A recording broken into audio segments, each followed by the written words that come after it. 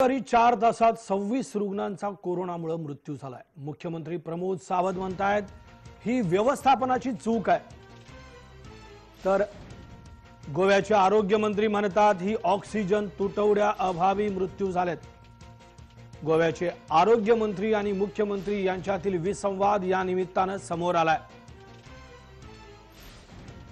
गोव्यातील आरोग्यमंत्री आणि मुख्यमंत्री प्रदीप सावंत यांच्यातील विसंवाद समोर आलाय. आमने सामने गोव्यातील कोरोना संसर्गाची स्थिती गंभीर बनते.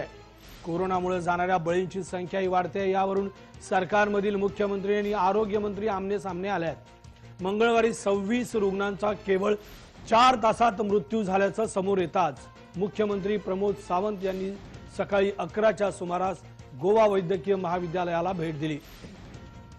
त्यांनी त्यांनी वॉर्डात जाऊन रुग्णांच्या अडचणी जाणून घेतल्या.